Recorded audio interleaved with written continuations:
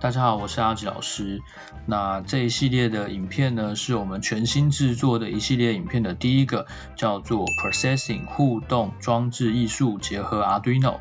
那顾名思义，我们会使用 Processing 这一个新的开发环境来制作很多很棒的，而且色彩。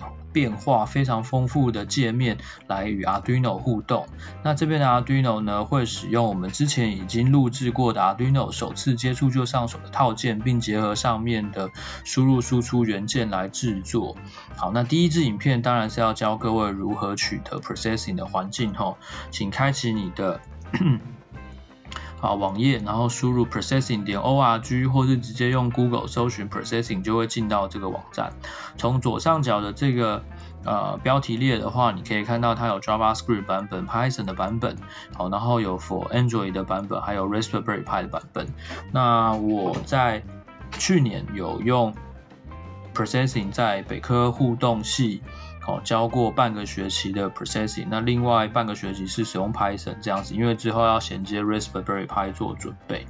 好，那我们就看到这个网站这边，然后这边有一个 download processing，它本身是跨平台的，所以在各个平台上面都可以执行。哦，请根据你的使用的电脑作业系统版本来下载。那我这边是 Windows 六十四，点一下就会下载。哦，那我已经下载好了，这边就先取消。那因为它本身是用基金会的方式在营运，所以如果您行有余力的话呢，可以选择小额捐款，让这样子的哦开源的专案可以继续下去。然后哈，只不过这个是不勉强的。好，那我们下载完了以后呢，进到下载的资料夹，就可以看到这样子的压缩档。解压缩以后会看到同名的资料夹，好，可以从这边看到它的版号，也可以看到它的作业系统的版本。好，点进去，找到 Processing 的 exe 档，点两下就启动。好，那等一下启动以后呢，你会发现它界面在配置上跟 Arduino 很像。好，那实际上您如果去哦搜寻一下它的时间线的话，你就会发现 Processing 这个环境哦。的出呃的发布的时间早于 Arduino 的环境，所以你会实际上正确的说法是应该是 Arduino 的 ID 去承接了 processing 的精神这样子哈。好，那我们这边呢很快看一下它这边的哦功能列有哪些东西哈。那这边就是 file 那一些开档啦、新的档案啊等等。好，那我们等一下会用到这个是 example。那这里的 example 呢非常非常的丰富。哦，我只能说，你如果把这里面的范例只要看过一半就好，你你一定非常厉害，OK，然后它各样子的效果你都有很好的掌握，OK，能写在范例里面的一定都是很经典的，然后好，那第二个 edit 的话就是相关的嗯一些程式编排上的呃一些指令，那这边跟 Arduino IDE 是很类似的，好，那一个 Arduino 呃一个 processing 的。范例哈，我们叫做草稿码，英文叫 Sketch 这样子。好，那我喜欢用 Sketch 哈。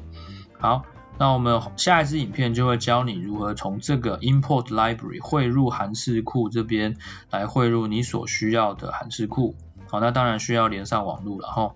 好，那 Debug 这里面比较少用，Tools 的话就是有建立字型啦，或是选择颜色啦。刚刚有提过 Processing，它在哦颜色。互动、形状，还有一些声光的效果上都非常厉害，所以这个 Color Selector 可以帮助各位选到你喜欢的颜色。好，那类似的 RGB 色码的工具在网络上非常的多，哈，可以你选择喜欢的来用。但是这内建的我觉得蛮好用的。好，那你如果要加入其他平台的工具，也可以从这边去选。那这边。选进来其实跟刚刚的汇入函式库是同一个画面，只是你不同的标签而已哈。好，那我们后续都会再介绍。那 Help 的话就是相关的资源。好，那各位当然都可以从 Processing 的网站的左边找到它这边有个 Tutorial 教学。OK，那你会一直看到一个大胡子先生，哦，他就是 Daniel Schiffman，是 Processing 一个非常重要的开发者之一哈。然后 Example。OK，这些 example 都已经整合在我们刚刚看到 processing 的 example 这个范例里面哈，所以不用不用看网站，你可以直接从这边就点开把它汇入进来。还有书好，那这书写的范例就很经典，你可以从看上面看到一些开发者的他当初的想法啊、精神啊这样子哈。好，那我们这支影片呢，就用最后用一个 processing 的范例来做结尾好，那你请点选 File Example，看到这个资料啊，这个这个界面，选 Basic Input，帮我选 Mouse 一滴，Mouse 一滴，点两下会直接开启。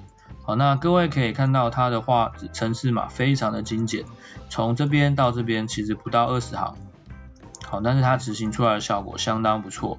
好，那这边的语法长得跟 Arduino 很像，就是有点像 C 跟 Java 的混合这样子。好，那我们看一下。好，那大部分的 processing 的程式都是会开启一个小画面，当然你也可以让这个画面刚好就等于你整个荧幕的大小，这个也没有问题。但是如果越大的荧幕你要有效果的话，它在电脑运算上也会是比较吃力的哦。